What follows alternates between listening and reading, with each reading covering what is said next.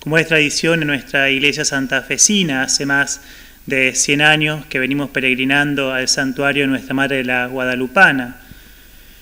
Y desde que llegué a San Carlos hace más de dos años, esta es el tercer año que nos ponemos en peregrinación desde San Carlos Centro para honrar a nuestra Madre.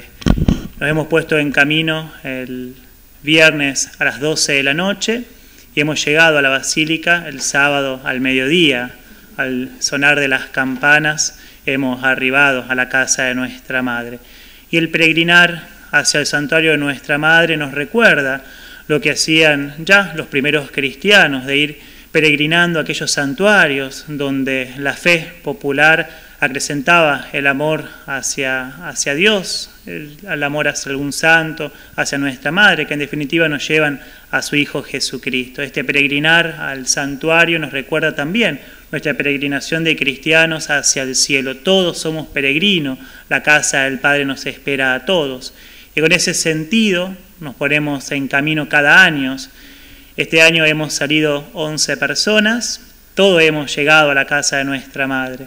En este ir peregrinando nos va mostrando que más allá de nuestra fuerza, más allá de lo que nosotros podemos dar, es la gracia de Dios la que nos fortalece y bueno, nos anima a llegar, algunos por una promesa, otros eh, con alguna intención particular, algunos para agradecer. Bueno, esto es lo que une nuestros corazones de uno, de otro, para que juntos, como pueblo, como comunidad, como iglesia, nos pongamos en camino. De manera especial, yo he llevado intenciones de muchas personas que me han pedido, hemos rezado, otros actos de agradecimiento y siempre alguna promesa que queda en deuda para el próximo año seguir peregrinando a la casa de nuestra Madre. Exacto. Eh, ¿Cuál es el sentimiento cuando arriban, cuando se, eh, digamos, se congregan con las demás personas que seguramente llegan desde distintos puntos de la provincia?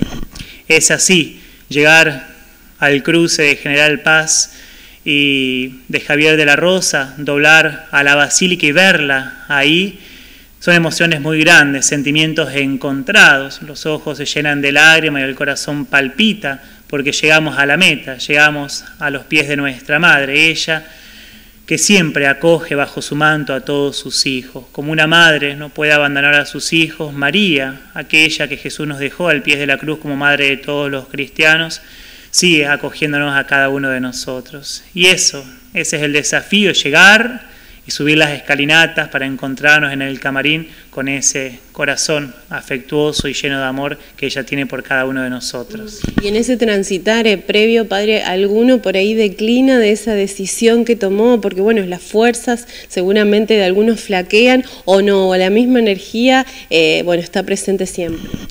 El cansancio, los dolores aparecen. Llegar a Santo Tomé y encontrarnos con la guadalupana al inicio de Santo Tomé es el gran desafío. Todos ponemos eh, en frente a esa imagen todas nuestras intenciones y le decimos, Madre, hasta acá llegamos, danos la gracia de poder cruzar lo que queda de la ciudad para llegar a tu santuario.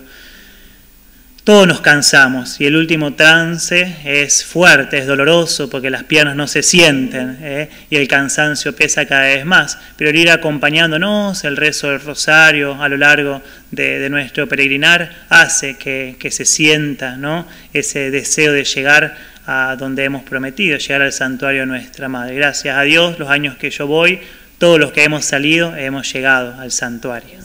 Tenemos una agrupación también que es la agrupación El Cencerro, que todos los años acompaña, eh, bueno, a lomo de, de, caballo, ¿no? Ese, ese peregrinar, eh, bueno, ustedes lo hicieron por su cuenta también, pero para nosotros, para los sancarlinos, también es, es un símbolo muy importante.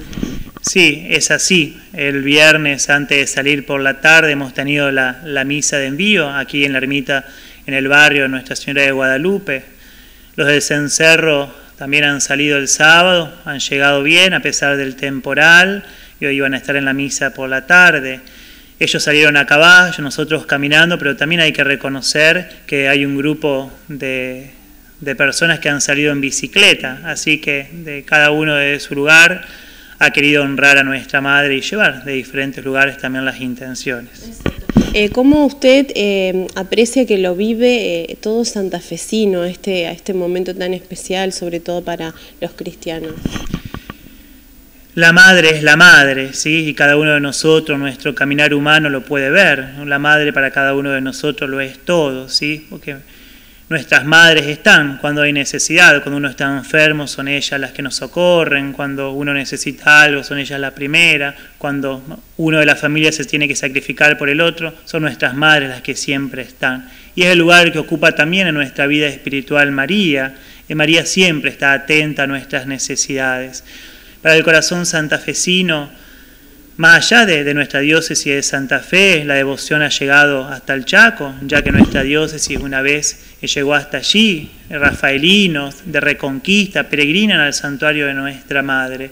Ha sido siempre una gran fiesta popular, hace ya más de, de 300 años, cuando Javier de la Rosa fue ermitaño, ha hecho divulgar esta devoción a nuestra Madre, más allá del inicio de su historia y desde allí ha quedado el corazón santafesino anclado en ese santuario. Todos, todos reconocemos que la guadalupana atiende nuestras intenciones y nuestras necesidades. Ella, con su crisol de raza y de voluntades, acoge a todo, al pobre, al, al rico, a todos, a todos sin hacer discriminación como la guadalupana en México, ¿sí? transformó la vida de Juan Diego, un pobre indio. Aquí la guadalupana en Santa Fe ha hecho eso también, ha unido nuestra diócesis y ha hecho de Santa Fe un crisol de voluntades.